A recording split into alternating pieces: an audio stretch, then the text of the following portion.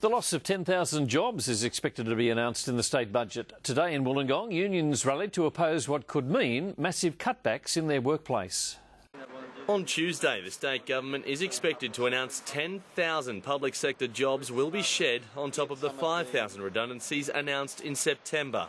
That's 10,000 fewer jobs in New South Wales, many of those in regions like the Illawarra. The government will recommit to exempting nurses, police and teachers in schools from the cuts, but not TAFE teachers. While the earlier job cuts were pursued through voluntary redundancies, that approach is not guaranteed this time we couldn't lose any more because what happens, we lose administration staff. Well, those police, they take over that role. Treasurer Mike Baird has confirmed the government would be taking a range of difficult and necessary decisions in the budget to restore the state's finances to fund critical programs, services and infrastructure needs.